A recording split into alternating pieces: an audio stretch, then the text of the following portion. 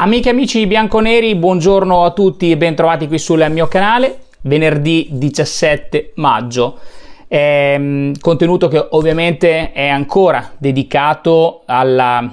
eh, situazione mh, Allegri, Juventus. Spaccatura insanabile, ma la verità sta nel mezzo. Lo sviluppiamo insieme, io come sempre l'invito ve lo pongo, eh, iscrivetevi al canale YouTube, azionate la campanella notifica e mettete un bel pollicione verso l'alto in fondo alla puntata sperando possa essere stata di vostra compagnia. Come ogni tanto ripeto, mi piace però risottolinearlo, non ho la verità in tasca, non sono eh, certamente io quello che può sancire e stabilire determinate situazioni, severe, false, giuste, non giuste o quant'altro, perché molto spesso trovo commenti di persone che mi seguono o da poco o che si soffermano sul titolo, non ascoltano o ascoltano solo quello che gli, gli fa comodo. Quindi è chiaro che questa è la mia opinione, il mio pensiero, vi porto anche quelle che sono le mie eh, notizie che cerco di eh, verificare, di confrontare e eh, quando ieri ho fatto il titolo mi rendo conto, mi sono reso conto solo successivamente eh, che poteva essere eh, forse forzato, ehm, Allegri esonerato, la ricostruzione. Ma eh, Allegri esonerato eh, perché effettivamente è così, cioè la notizia che mi è arrivata ieri e che poi è stata rilanciata da tutti e che ho verificato insieme insomma, a persone molto dentro al mondo Juve è proprio che questo è avvenuto. È avvenuto, si trattava soltanto di definire, così come adesso andiamo a completare un po' tutta l'argomentazione, ehm, i termini, i modi il, eh, della, dell'annuncio ufficiale, ma Allegri è esonerato. Quindi nessun titolo clickbait, nessuna volontà di semplicemente ho raccontato nella ricostruzione l'accaduto, l'avvenuto, la, la, la, un, un, po' la, cronistoria per arrivare appunto all'esonero di Max Allegri. Poi se sarà eh, esonero, se sarà licenziamento per giusta causa, adesso cerchiamo di approfondire ulteriormente. Perché? Ad, eh, diciamo, in aggiunta a quello che vi ho raccontato nel contenuto di ieri sera, eh, devo dirvi che nella serata, nella tarda serata di ieri, eh, ci sono stati degli ulteriori sviluppi. Eh, se mi chiedete se Allegri sarà esonerato oggi, domani, stamattina, nel pomeriggio, mh, mm, diciamo che in tal senso una certezza assoluta non c'è, perché le informazioni che mi sono giunte eh, sono eh, a ieri sera che ehm, la proprietà, nella figura proprio di John Elkan, stesse valutando insieme a fidati collaboratori, definiamoli così, il da farsi. È ovvio che il rapporto con la, la Juventus tra Massimiliano Allegri è giunto al termine. Però ehm, il, il modus per interrompere il rapporto era ancora ieri sera al vaglio proprio di John Elkan che si stava confidando con stretti collaboratori, eh, con persone eh, assolutamente di fiducia. Perché nella giornata di ieri, come vi ho detto, è andato in scena un incontro tra la proprietà, eh, lo Stato Maggiore eh, della Juventus, eh, Allegri e il suo staff.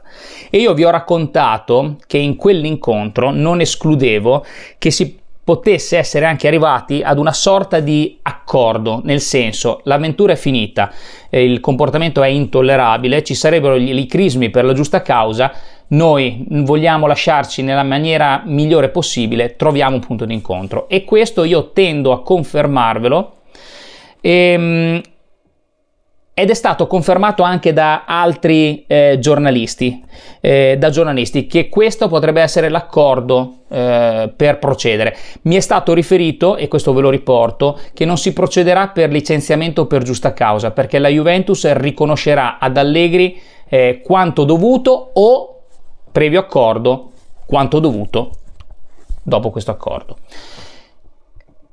La spaccatura è insanabile, ma la spaccatura è insanabile non soltanto tra Allegri e la Juventus, è una spaccatura insanabile anche in seno alla tifoseria, perché io mi rendo perfettamente conto che nel ricostruire, nel raccontarvi quello che so, che mi viene detto con, con eh, diciamo, eh, questioni per le quali mi confronto con gente che vive molto dentro e molto vicino all'ambiente Juve, eh, ve l'ho detto, io comprendo molti di voi che commentano da eh, tifosi, eh, da eh, puri tifosi, cioè proprio ehm, senza uno conoscere bene la reale situazione. Due, senza il passaggio del volersi mettere tra virgolette in discussione sostituendosi a quello che può aver vissuto una persona per la quale voi fate sempre solo ed esclusivamente riferimento all'autostipendio percepito che è certo va messo nella sul piatto della bilancia in un computo di giudizio finale, ma i giudizi che voi molto spesso emanate, de- dei quali, ripeto, se sono emessi con educazione io eh, li rispetto ma non li condivido, e l'ho detto, eh, sono sempre un po' troppo superficiali. Perché immaginatevi voi, pur lautamente pagati dalla vostra azienda, dover lavorare in un clima ostile dove chi dovrebbe, tra virgolette, coprirti le spalle, darti supporto e collaborazione, eh, ti lascia solo. Eh, alla lunga è una cosa che snerva e che rende il proprio lavoro difficile e non consente di poter lavorare nella eh, diciamo serenità e non, né per te né per il gruppo squadra ma io ve lo dico solo perché è per farvi capire questa spaccatura insanabile in seno alla società con Allegri, ma anche in seno alla tifoseria, tra chi non perdona nulla ad Allegri e lo condanna e lo giudica e, ne- e lo vuole assolutamente fuori e chi magari lo vuole fuori, però comprende un po' la situazione e quindi la verità sta nel mezzo. La verità sta nel mezzo sia da un punto di vista eh, del pensiero della tifoseria, Allegri in, Allegri out, chi la vede in un modo, chi nell'altro, eh, tra, tra, l'altro molto spesso non accettando che chi non ce l'ha con Allegri ma abbia voglia di vedere qualcosa di diverso possa pensare in maniera differente da chi invece difende Allegri a spada tratta sempre e comunque.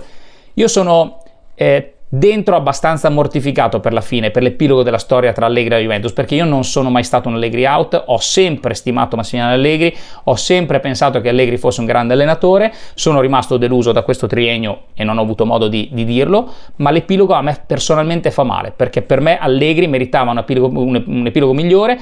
e eh, molto probabilmente anche la Juve come, come, come, blasone meritava il godersi una finale di Coppa Italia, una, un, trofeo in una maniera migliore. Per questo io non posso giustificare comunque un Allegri che sicuramente era gonfio e ha lasciato eh, esplodere tutta la sua adrenalina che aveva dentro, non lo giudico per questo, però non condivido certi gesti, non tanto il fatto di essersi incazzato verso eh, la tribuna cercando Rocchi o col quarto uomo, eh, per il quale c'era da fare un contenuto, perché vi avrei voluto raccontare tutto quello che non si è detto, che non è stato detto, ma che abbiamo visto. E chissà se ci sarà tempo di fare un contenuto di questo tipo a distanza di due giorni, perché era bello farlo a caldo, farlo ieri, ma poi l'esplosione della situazione Allegri mi ha reso difficile il poter realizzare questo contenuto, quindi non tanto lì, perché lì Allegri si è dimostrato unico vero difensore del proprio lavoro, della Juve, dei quei ragazzi, quando la società non ha mai messo la faccia e oggi addirittura prendiamo delle scuse della Juventus al presidente della FGC Gabriele Gravina. Mi sta bene che la Juventus eh, fa, eh, ponga le scuse perché si è andati oltre in certi atteggiamenti, ok?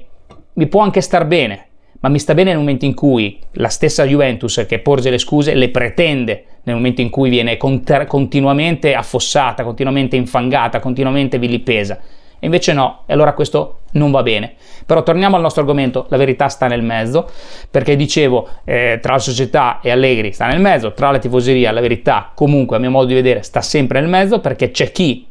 pur ammirando Allegri, abbia anche la volontà, la voglia di poter vedere qualcosa di diverso. Poi siamo tutti, credo, perfettamente consapevoli che se non ci sarà un cambio a livello dirigenziale societario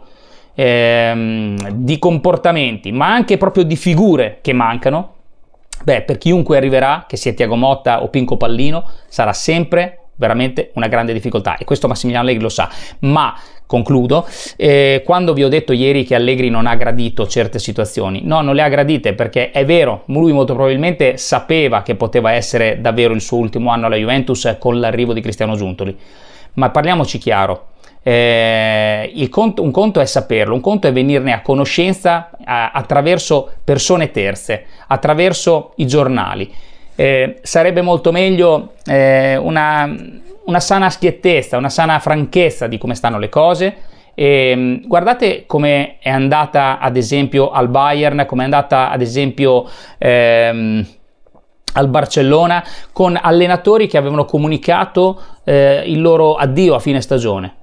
hanno lavorato in maniera sicuramente più serena col gruppo squadra, con la dirigenza, eh, cosa che poteva secondo me avvenire anche alla Juventus, ma lì avviene solo nel momento in cui la società è una società forte, una società con persone, figure competenti che sanno quello che fanno, che sanno come ci si deve muovere, quello che, come dicevo ieri in un mio contenuto su X, eh, oggi manca tremendamente alla Juve. E allora, ehm, per quanto la frattura sia insanabile e la verità stia nel mezzo, eh, quello che vi posso dire, aggiornamenti appunto eh, postumi al mio contenuto di ieri sera, è che molto probabilmente si procederà al comunicato eh, nella giornata di oggi, dico probabilmente perché certezza non vi è, però le valutazioni erano su come andare a chiudere, perché eh, ehm, John Elkan avrebbe voluto evitare eh, un ulteriore danno d'immagine. So che vi può sembrare strano che io vi dica può, eh, questa parola danno d'immagine associata a John Elkan, ma questo è. E, ehm, come ha raccontato Mirko Nicolino eh, sul suo profilo social X nella giornata di ieri, all'incontro tenutosi in Continassa ieri erano presenti anche vertici Adidas, perché Adidas è uno sponsor, oltre che tecnico importante per la Juve, è uno sponsor di diversi giocatori importanti in seno alla Juve, nonché di Max Allegri. E quindi è ovvio che tutto questo baccano, tutta questa situazione che si sta sviluppando attorno eh, a, a certi individui e alla società, eh, a, a, tante, a tanti soggetti, non fa piacere e avrebbero preferito che fosse gestita in maniera più soft, ben sapendo che questa sarebbe stata comunque l'ultima stagione di Max Allegri sulla panchina. Poi eh, è sbottato, è scoppiato, si è reso protagonista di gesti che non possono essere tollerabili, neanche quelli verso Giuntoli, e lo dico candidamente, nonostante l'ostracismo, e come si diceva una volta e come dovrebbe tornare ad essere, i panni sporchi devono essere lavati in casa e quindi all'interno di quattro mura dove gli occhi del mondo evitino di vedere. Ditemi la vostra, ci sentiamo presto, come sempre, fino alla fine. Ciao!